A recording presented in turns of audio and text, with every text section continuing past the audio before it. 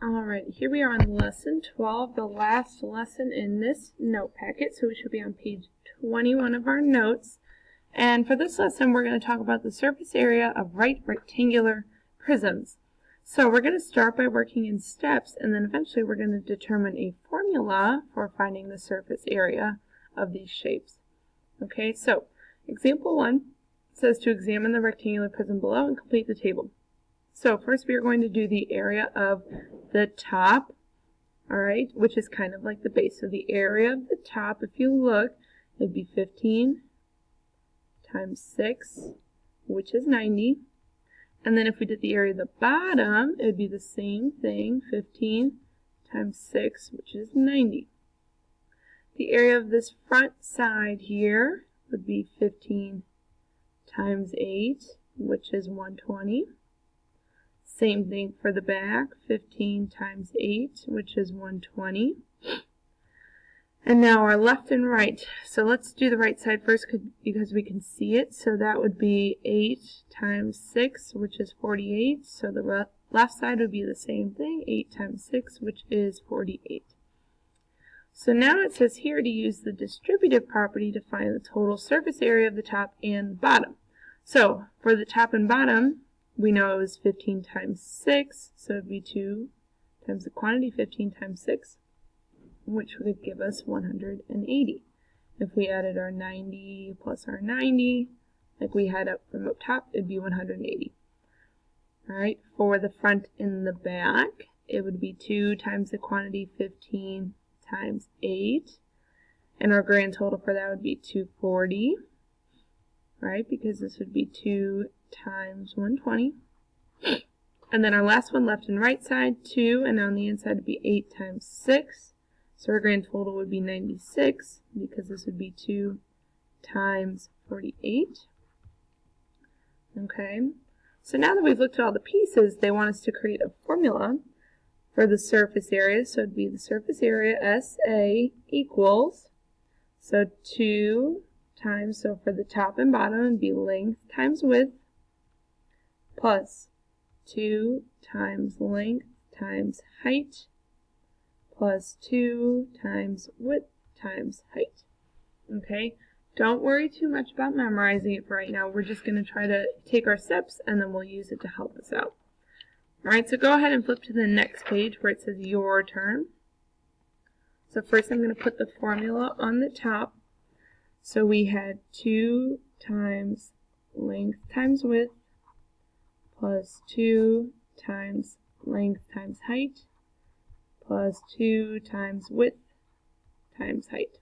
So remember, this was like the top and bottom.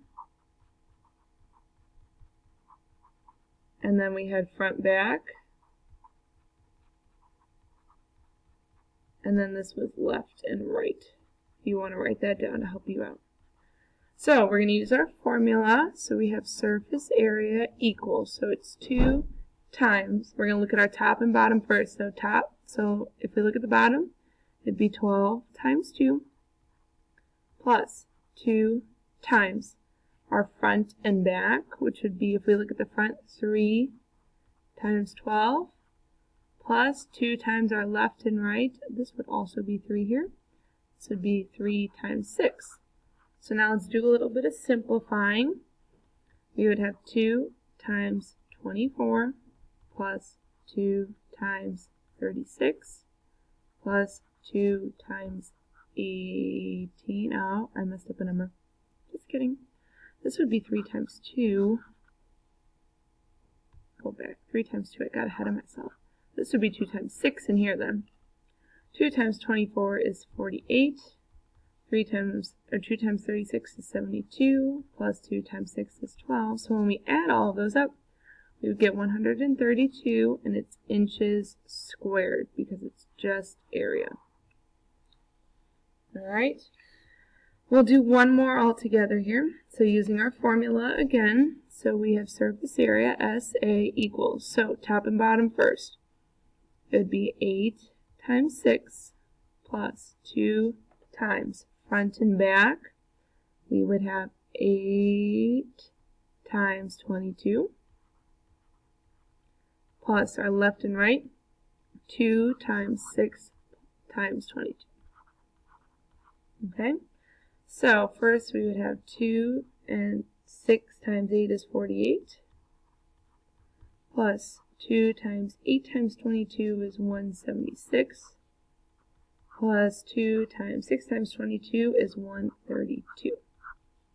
Excuse me. 2 times 48 is 96, plus 2 times 176 is 352, plus 2 times 132 is 264. So when we add all of those up, we end up with 712 meters squared. Alright, this last one, I'd like you to try on your own. So we can go over it in class. So put a star by that, and you're going to come back to it, or you can pause it right now and do it.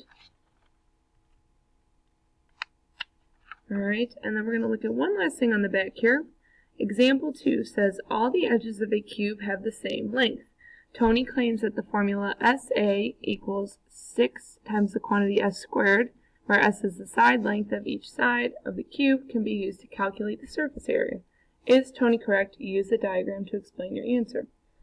Well, this only works for a cube, so you need to write yourself a note. This formula here only works for cubes. And it does work. Alright, so let's go ahead and try this one. So we would have SA equals 6 times, our side lengths are 5, so 5 squared. So this would be 6 times 5, 5 times 5 is 25.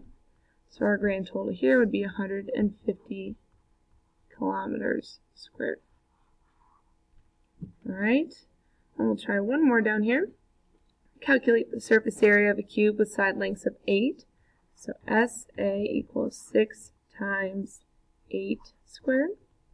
So we have to have 6 times 64. And when you multiply that, you get 384 centimeters squared. Okay, this last one here again, I'd like you to try on your own. So we can go over it in class. So you should be doing this one and the question from the other page on your own, and then we will go over the answers in class tomorrow.